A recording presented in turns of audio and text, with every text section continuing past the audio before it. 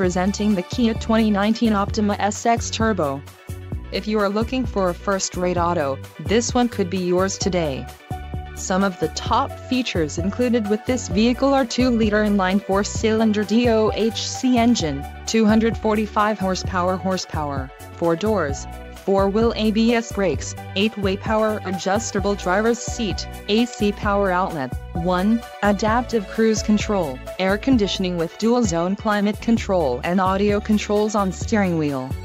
If you are looking for a new car this might be the one. Low mileage is an important factor in your purchase and this vehicle delivers a low odometer reading. Let us put you in the driver's seat today.